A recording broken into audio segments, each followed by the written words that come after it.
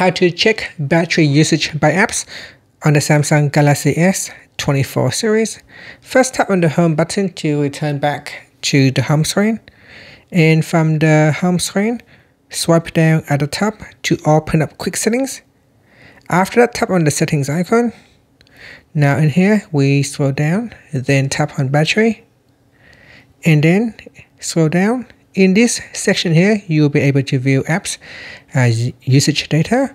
So at the top, you can select.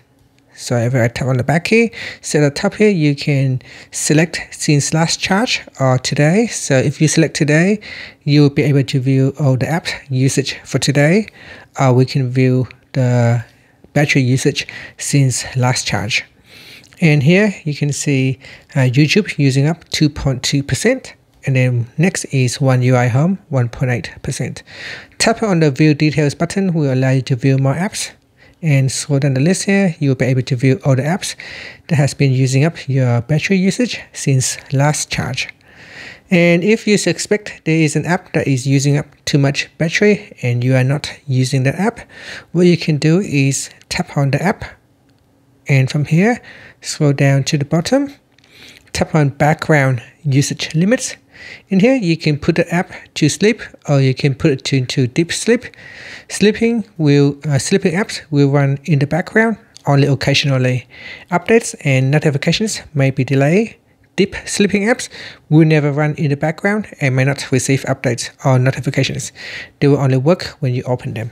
So if you suspect that apps is using up a lot of battery uh, on the background, you can simply uh, turn on background usage limits.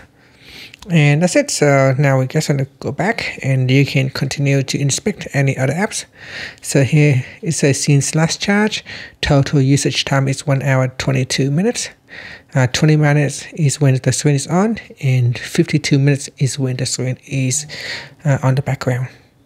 Uh, as you can see here, it's using up system resource usage uh, 5 minutes of CPU time and how many packet has been through wireless communication. And that's it. So you can do that the same for other apps as well. We've got camera, uh, OneDrive, uh, One UI Home. So 3 hours and 30 minutes has been used up uh, during this time. Uh, One UI Home has uh, spent uh, 3 hours and with the screen time off 90 minutes and on the background is 2 hours and 53 minutes. And that's it. Thank you for watching this video. Please like and subscribe to my channel for more videos.